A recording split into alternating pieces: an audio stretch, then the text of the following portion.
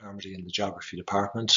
Um, and I'm not a scientist or a climate scientist uh, by any stretch of the imagination, but I um, wanted to talk to you today just for a few minutes about why climate change is important, not, as I say, from a scientific perspective, but more from a social uh, or social science perspective. So one of the things that scientists have talked about in the last number of decades is something called the Great Acceleration. And the Great Acceleration you see graphically represented here where the world's population is growing, the world's economy is generally growing and using more resources and uh, creating more pollution into the atmosphere. Um, and you can see that in, in, terms of the graphs around Earth system trends there, rising concentrations of carbon dioxide, methane and other people produced or anthropogenically produced greenhouse gases warming up uh, the planet. And this has all sorts of impacts and um, doesn't affect everywhere equally. In fact, there are huge differences geographically in terms of how places will be affected by climate change or climate disruption. But the great acceleration is this idea that as a consequence of human-induced environmental change, we're seeing ecosystems around the world coming under pressure and increases in the pace of global environmental change, particularly around uh, climate change and biodiversity loss. You're all probably familiar with the wildfires um, last year in California and Australia, for example. And some people have argued that these are portents of things to come as the planet warms. Now, there's a difference between climate and weather. We can't uh, attribute a single event to a change in climate because you need to see the patterns and uh, those need to be sustained through time. But nonetheless, we're beginning to get a sense of some of the um, increased impacts of uh, climate change like Hurricane Katrina, like the wildfires in Australia and California, and many other examples as well. And this speeding up of global environmental change isn't really surprising because if you look at the statistics, 50% of all people-produced uh, greenhouse gas emissions have been released in the last 25 years or so, so part of this great acceleration. And we're burning the equivalent of 400 years of accumulated biological matter in a year. So again, it took 400 years of uh, tree growth and plant growth and animal growth, for example, to create the oil and coal uh, that we're uh, burning and putting the carbon dioxide, resulting carbon dioxide up into the atmosphere.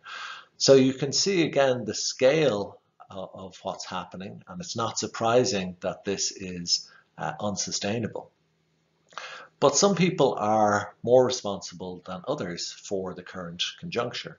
So if you look, for example, at Burundian emissions versus or compared to uh, emissions per capita in the United States, people in the US give off 181 times more carbon dioxide every year than people in Burundi. So people in Burundi have a relatively negligible impact uh, on the global Earth atmosphere system, whereas that's not the case for people living in rich countries like the US or Ireland, for example.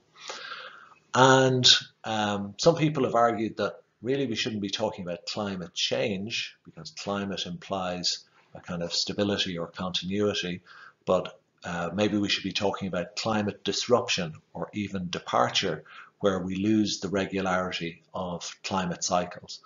Um, and obviously that becomes problematic for a whole host of reasons, including to do with uh, a loss of seasonality, which means that uh, agricultural growing seasons, for example, and harvests will be disrupted as a consequence of that.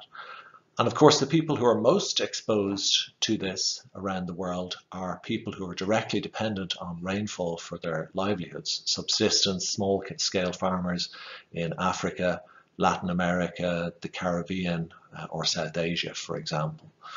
But we will all be impacted uh, by the coming down of the so-called Green Wall. The Green Wall was the idea that the people in the rich countries could insulate themselves from the effects of global overconsumption and overproduction But because of the pace and scale of what's happening in terms of global environmental change and the dramatic losses in biodiversity and the speeding up of climate disruption or potentially departure, we are all going to be exposed to, to the impacts of um, what we're talking about currently.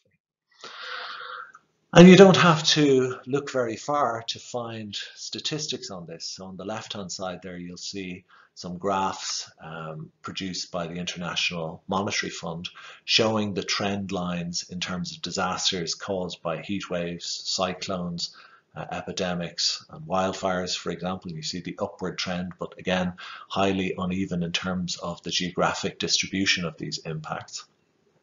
Or another way to look at it is at um, through looking at reinsurance company payouts. And reinsurance companies are the big companies that insure the insurance companies, if you like. And you can see there, this is a graph from The Economist showing uh, the scale of uh, payouts uh, associated with natural catastrophes or so-called natural catastrophes because in many cases they're actually human produced um, and the increasing trend line around these as well and as you see the majority of the losses around the world actually aren't insured unfortunately. If you look at some of the predictions from agencies like the US National Intelligence Director talking about India a, he says, uh, for India, our research indicates the practical effects of climate change will be manageable by New Delhi through 2030. Beyond 2030, India's ability to cope will be reduced by declining agricultural productivity, decreasing water supplies and increasing pressures from cross-border migration into the country. So there are some worrying assessments. Again, countries that are richer, have more resources, and are able to put uh, more mitigation and adaptation measures in place than poorer countries. But for poorer countries whose budgets are very constrained, obviously this is going to put increasing pressure on uh, their government budgets in addition to resulting in all sorts of uh, social uh, dislocations and um, pain for people. So global climate disruption is an existential threat to humanity, both directly, um, so there's something called the wet bulb temperature and large portions of the earth may become uninhabitable uh, because when the wet bulb temperature rises above the mid 30s Celsius apparently with uh, certain amounts of humidity, it becomes impossible to live in these places. And through indirect channels such as the loss of biodiversity. And we all depend on plants and animals uh, to feed us and for all sorts of ecosystem services like pollinating uh, of plants by bees, for example. One of the worrying things is that there are uh, tipping points coming up. So the melting of the tundra uh, in Russia, for example, could release huge amounts of methane and that will speed up again the pace of global environmental change. So this so-called positive feedback loop where one change sets off a bigger change and you get into a kind of vicious circle of feedback if you like, even though it's positive because it's devi so-called positive because it's deviation amplifying. There are justice implications for this. So for example, uh, the countries, as I mentioned, that have done the least to create this problem often will pay the highest price, even though some of them have made great strides in terms of greening their own energy systems. So I read the other day, for example, that 93% of Kenya's electric electricity is now generated from renewable sources. There are gender impacts and gender injustice uh, impacts associated with this as well. If the climate heats up um, for example, in many sub-Saharan African countries, it's often women who are tasked or uh, assigned the role of fetching water for the household if they have to walk further to get that water. Again, that will uh, create uh, additional forms of gender injustice. And then there's intergenerational and interspecies injustice. So the fact that we are consuming the world's resources now may mean that future generations won't be able to live at uh, adequate or desirable standards of living. And obviously with the, the huge kind of potential mass extinctions that we may be on the cusp of associated with climate disruption, there's also an interspecies uh, injustice associated with this type of global environmental change. So just to finish up, in terms of solutions, um, as I've mentioned, some countries, including Ireland, have made very substantial progress in greening their uh, energy systems, and now the government has a climate bill, which again is going to deepen this change and is uh, decommissioning coal-fired uh, power plants and uh, instituting a variety of other initiatives in order to green our energy and transport system. There are voluntary initiatives like carbon offsetting when you buy a flight. Um, these can be important, although it's important to know exactly how the carbon is offset. In some cases, carbon plantations in the global south have um, displaced local people from their lands and livelihoods. So again, creating new forms of injustice, even under the guise of something progressive like carbon offsetting by growing uh, additional trees. Contraction and convergence is something that is talked about. That is that countries around the world need to contract their uh, anthropogenic greenhouse gas emissions and that we need to converge towards uh, a global low average. So apparently the Earth atmosphere system could absorb about two tons of carbon dioxide per person per year, even with more than 7 billion people on the planet now.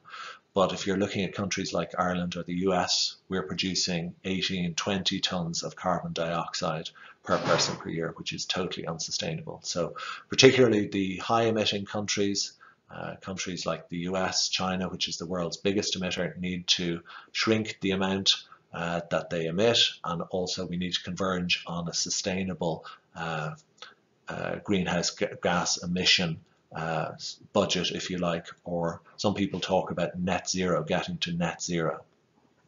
Now, in terms of the, gen, the justice implications, um, some people also argue that, well, you know, Europe and North America were able to grow their economies on the back of carbon intensive development, and shouldn't poorer countries be allowed to do that now? And one idea around this is the idea of relative decoupling, that poorer countries should be allowed a greater budget as they grow their economies because their overall historical contribution has been very low to date. To date.